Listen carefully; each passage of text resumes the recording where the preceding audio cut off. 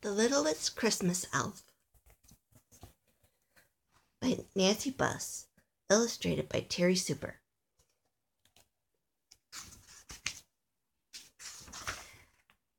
Alistair the elf was excited.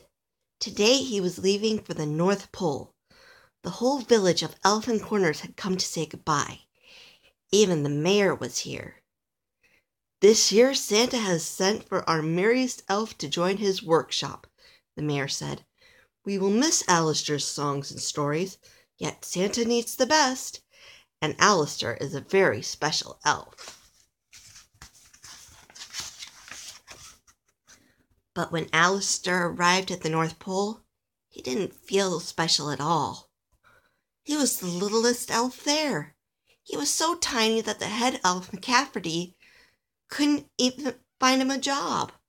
McCafferty gave Alistair a bill, but Alistair was too small to hammer. He gave him a dollhouse to paint, but Alistair couldn't reach the roof. He gave him some bears to stuff, but that didn't work either. He's buried beneath them, said the elf in charge of the bears. McCafferty sh- shook his head. Just two weeks until Christmas, and we still have so much to do. We have to find you a job. Perhaps you can sweep. But even the broom was too big for Alistair, and the other elves began to laugh. Why, he's just a runt, said one elf. He poked a friend and giggled. He's smaller than I am, said another who stuck his tongue out. And absolutely useless, said a third. Santa should send him away. Alistair blink, blinked his eyes quickly so he wouldn't cry. I don't belong here, he thought. I'm so little, even Santa won't like me. Then he pushed through the crowd and ran from the room. But Santa won't send me away, said Alistair, because he will never see me.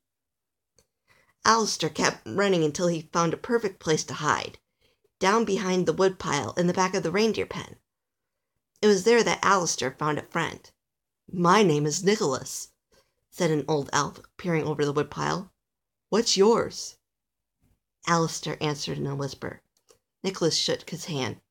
I'm glad to know you, he said. Would you like to help me with the reindeer? When Alistair nodded, Nicholas lifted him up to his shoulders. The two of them chatted and sang while they fed and watered the reindeer. Alistair was so happy to find a friend that he returned to the reindeer pen the next day and the next. Nicholas never minded if Alistair asked questions, and never told Alistair he was too small to help. When Nicholas, while Nicholas cleaned out the stalls, Alistair fed the reindeers apples. While Nicholas brushed the reindeer's coat, Alistair harnessed, polished the harness bells. And all the while he told Nicholas stories, and together they sang to the reindeer.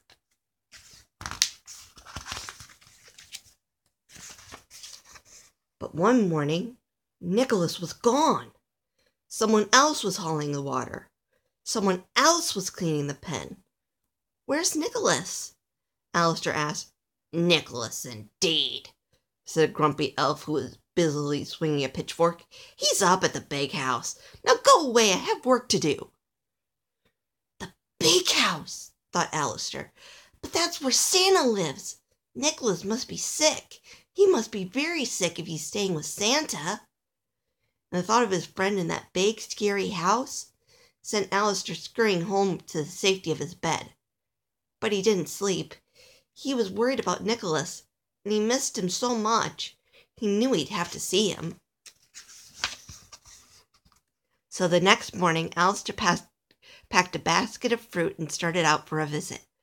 But the nearer he got to Santa's house, the slower his steps became. Finally, he stopped completely behind a Christmas tree in Santa's front yard. His heart was beating loudly. Suddenly, the door opened, and Alistair, more frightened than ever, dived beneath the pine tree. He heard footsteps, and he buried his head under his arms. The footsteps came closer. Alistair was afraid to breathe. He closed his eyes tightly and prayed that no one would see him. But someone jiggled his foot Hey there, said a voice. You're not hurt, are you?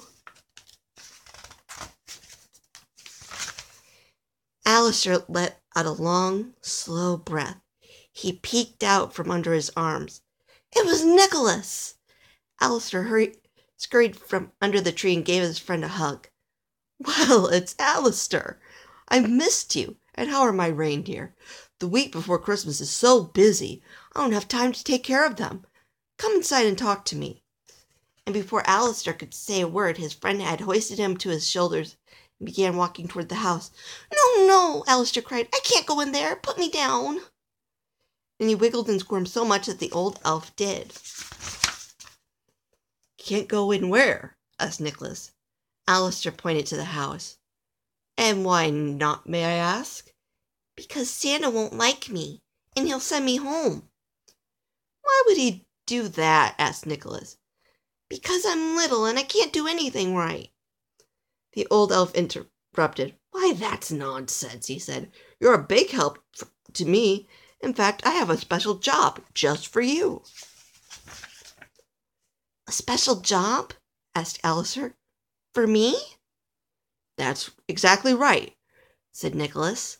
You're coming with me this year when I make my deliveries.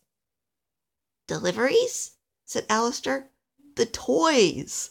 The toys to the children on Christmas Eve, said Nicholas. You see, it's a long trip and I get lonely. But you could come with me, Alistair.